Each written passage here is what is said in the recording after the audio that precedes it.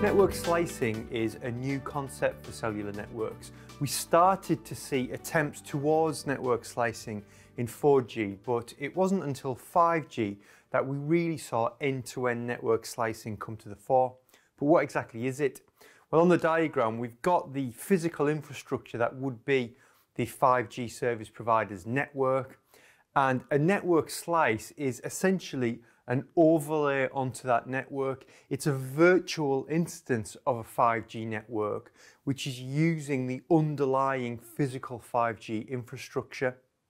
So for this particular network slice, we've designed a slice specifically for a use case, which happens to be voice services, and crucially, when we design the slice, we design it with specific attributes and characteristics.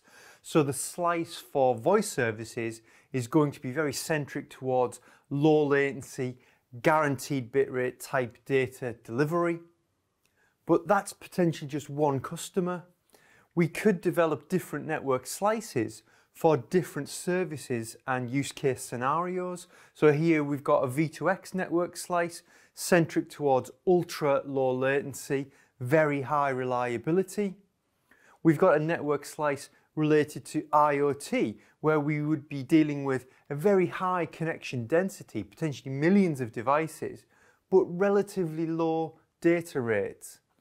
And then finally, we've got a different IoT slice that doesn't necessarily have a high connection density, but it certainly does have low latency requirements.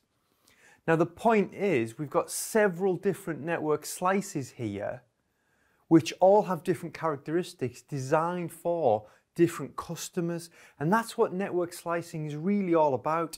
It's about monetizing that 5G network. It's about moving beyond just the consumer market into many, many more verticals, allowing that mobile service provider to accrue revenue from their 5G infrastructure, much more revenue ideally than what was encountered in 4G.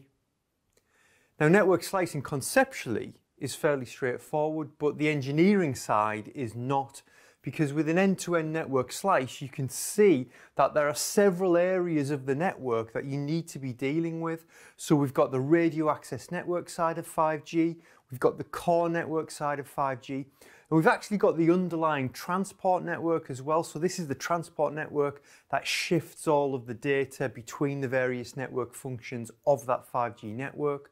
So they all need to be slice aware and they all need to be provisioned with the correct characteristics for each and every network slice. So there's a huge amount of management and orchestration of network slicing that will go on behind the scenes. It's a complicated piece of engineering to ensure that when a particular customer uses their network slice, they receive the service experience that they're essentially paying for.